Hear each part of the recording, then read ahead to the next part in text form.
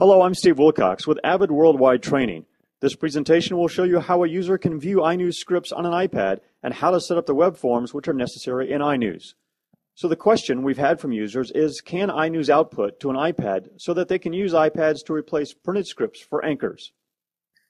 Yes, it's actually quite easy to view any iNews queues or stories on an iPad by using iNews Web Access. Web Access allows direct read-only browsing of the iNews database through the web browser. Users can navigate to any area of the system based on their access privileges.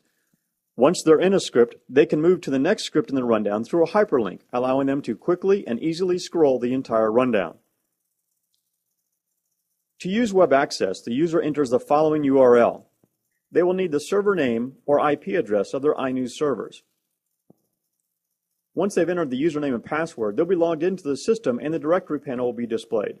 Moving around is very intuitive since folders, queues, and stories are all hyperlinks. So for a look at how this works, we'll grab our iPad and open Safari, then use a bookmark shortcut to jump to the iNews Web Access page. As an iNews user, we'll log in with our normal iNews user account and password, then navigate with the touchscreen to the Show Rundown and Queue, which contains the scripts we want to view. Once in a rundown, we open up a script with a touchscreen. The display will depend upon the HTML form we have set up in iNews. With the script open, I can scroll up or down the page or navigate to the next or previous page. And of course, we can always return to the rundown list view.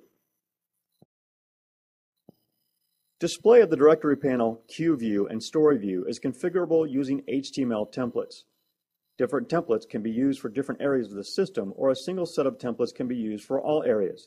The customization extends to the elements within each story, allowing administrators to determine how or if production cues, form fields, presenter text, and closed caption text are displayed. If you are using a version of iNews prior to 3.0, refer to Chapter 14 of your iNews Setup and Configuration Manual for instructions on configuring web access sessions.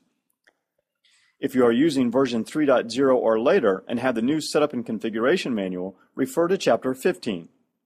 If you have questions about iNews or using iNews on the iPad, submit your question on community.avid.com in the Broadcast Newsroom forum or contact your broadcast account manager. If you don't know who your account manager is, please go to avid.com forward slash US forward slash resources forward slash how to buy.